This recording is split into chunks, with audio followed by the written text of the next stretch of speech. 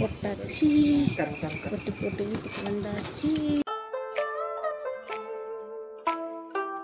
Hi friends good morning welcome back to my channel மார்னிங்கே வந்துட்டு இன்றைக்கி வந்து ஆலு பராத்தா செய்யலாம் அப்படின்றதுக்காக உருளைக்கிழங்கு வேக வச்சு ஸ்மாஷ் பண்ணி வச்சுருக்கேன். ஸோ இப்போ ஆலு பரோட்டாக்கு மசாலா ரெடி பண்ணிக்கலாம். உருளைக்கிழங்கு நல்லா வேக வச்சு மசிச்சுக்கணும். கூடவே வந்து நான் கொஞ்சமாக salt and then pure chilli powder கொஞ்சம் ஆட் பண்ணுறேன் நல்லா மிக்ஸ் பண்ணி வச்சுக்கலாம்.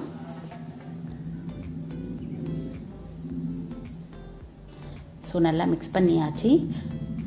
நான் உருளைக்கிழங்கு வந்து கொஞ்சம் ஆறுனதுமே மிக்ஸ் பண்ணேன். அதனால் கொஞ்சம் ஸ்மாஷ் பண்ண கஷ்டமாக இருந்தது.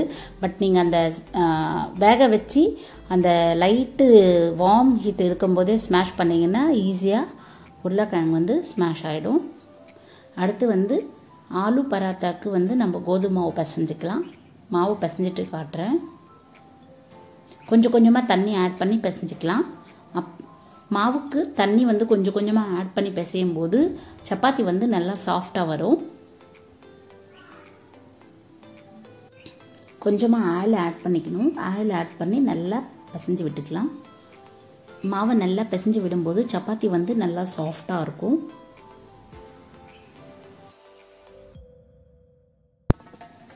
ஆலு பரோட்டா செய்யறதுக்கு மாவு மிக்ஸ் பண்ணியாச்சு.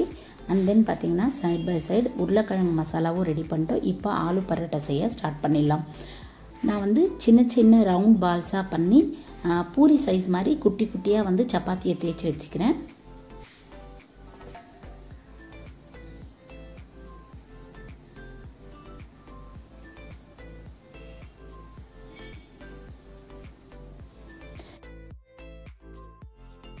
ஸோ இப்போ இதில் வந்து நம்ம மசாலாவை ஸ்டஃப் பண்ணிக்கலாம்.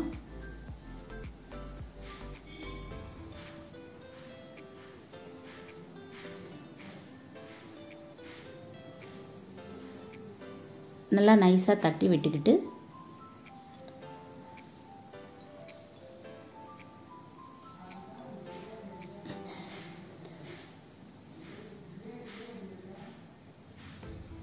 சின்ன சைஸில் வந்து நம்ம பூரி மாதிரி செஞ்சுருக்கோம்ல ஸோ அதையும் எடுத்து இது மேலே வச்சு இந்த மாதிரி அந்த ஓரெல்லாம் வந்து தட்டிட்டோம்னா நம்ம வந்து தேய்க்கும் போது வந்து அந்த மசாலா வந்து வெளியே வந்து வராமல் இருக்கும்.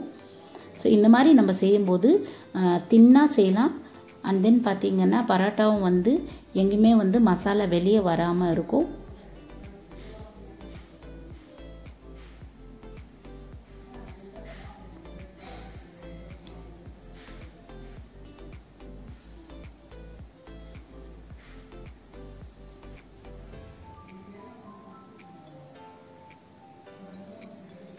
ஸோ பார்த்தீங்கன்னா எங்கேயுமே வந்து மசாலா வந்து வெளியே வரல.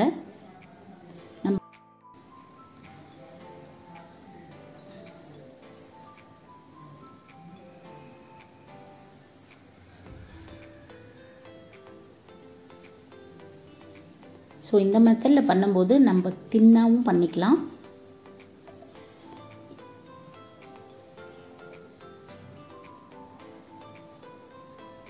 மசாலா பார்த்திங்கன்னா வெளியே கொஞ்சம் கூட வரல. எல்லாம் உள்ளே இருக்குது ஸோ தவாவை நல்லா ஹீட் பண்ணிக்கலாம். ஸோ தவா நல்லா ஹீட் ஆகிடுச்சு இப்போ வந்து ஆலு பராத்தாவை தவாவில் போட்டுக்கலாம்.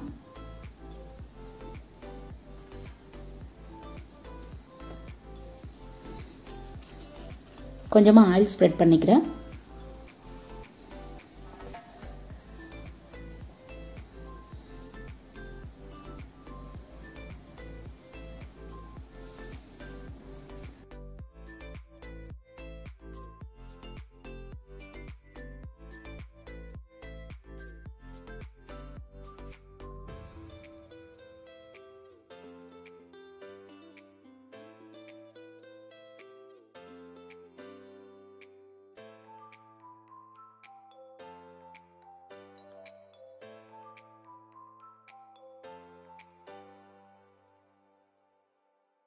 ஸோ ஆலு பரோட்டா ரெடி ஆயாச்சு. இந்த ஆலு பரோட்டாக்கு சைட் டிஷ் பார்த்தீங்கன்னா நார்த் இந்தியன் ஸ்டைல் டிஷ் தானே இது. ஸோ அதுக்கு வந்து அவங்க வந்து மோஸ்ட்லி வந்து பிக்கல் அண்ட் தென் பார்த்தீங்கன்னா கர்ட் டீ சாய் இதுதான் வந்து சைட் டிஷ்ஷாக எடுத்துப்பாங்க. டேஸ்ட் ரொம்ப சூப்பராக இருக்கும். ஸோ அடுத்தடுத்து நான் ஆலு பரோட்டா செஞ்சிட்ருக்கேன்.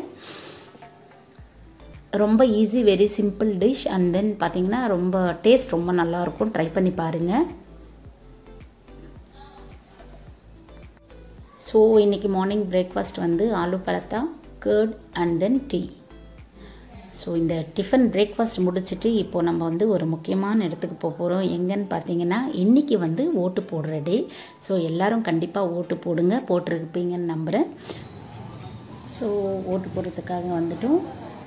என்னுடைய போலிங் பூத் பார்த்திங்கன்னா எனக்கு வெரி நியர்பை தான். ஸோ அந்த ஸ்கூலுக்கு வந்தாச்சு. ரொம்ப பீஸ்ஃபுல்லாக இருந்தது. கொரோனாக்காக டிஸ்டன்ஸ் எல்லாம் மெயின்டைன் பண்ணிகிட்டு இருந்தாங்க மார்க் பண்ணியிருந்தாங்க. அண்ட் தென் பார்த்தீங்கன்னா ஹேண்ட் சானிடைசர் கொடுத்துட்ருந்தாங்க அண்ட் தென் க்ளவுஸும் கொடுத்துட்ருந்தாங்க ஸோ ஓட்டு போட்டு வந்தாச்சு.